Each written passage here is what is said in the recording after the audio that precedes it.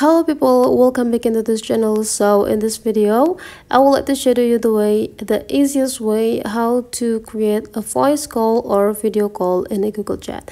Either uh, even though the name of the application is the google chat it doesn't mean that we cannot create any calls from this application. So open your app library and you just need to simply type chat there go click it to open the Google Chats right away.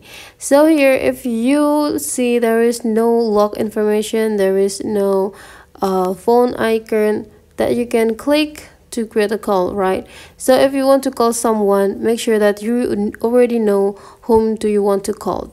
Let's say here i want to call my friends here so you just need to click and open the room chat and right uh, on the right side of the name of your friends here there will be two icon. The one is the camera the icon camera and then the other one is three small dots. If you want to create a call go click this camera button.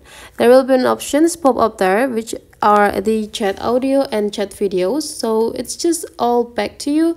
If you want to create a voice call you can just go click this chat audio. But then if you want to create a video call you can just go click this chat video. Again chat audio is for voice call and chat video is for video call. And whenever you're done now the application will try to reach someone that you want to call and you just need to wait until your friends picked up your phone that is the way guys how to create a call with a Google Chat. Hopefully this tutorial today is useful for you. Thank you for watching and I will let to see you for the next tutorial.